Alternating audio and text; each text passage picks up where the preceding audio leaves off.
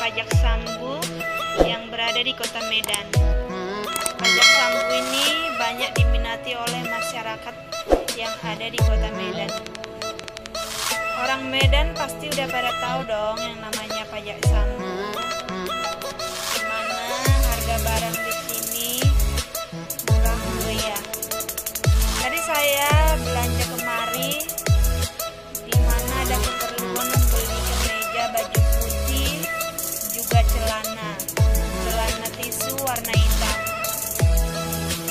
Membeli baju kemeja tadi diperlukan untuk pakaian pakaian untuk kerja baju putihnya tadi pertama harganya 35.000 yang akhirnya saya tawar jadinya 25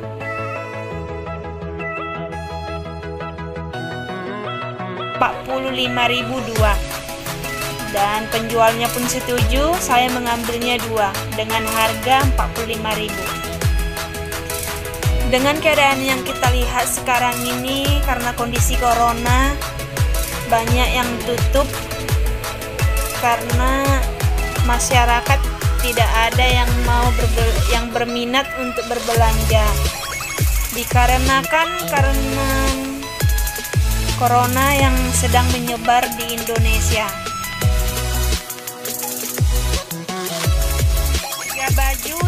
Disambu memanglah sangat murah, tapi kualitasnya bagus. Karena barang-barang dari sambu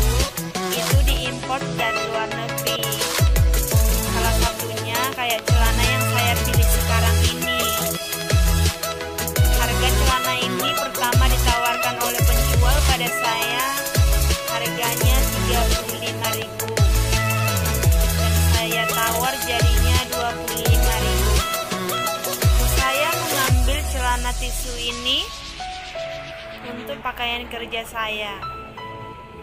Saat saya mencoba tadi ukurannya sangat pas. Jadi tidak perlu lagi untuk dikecilkan.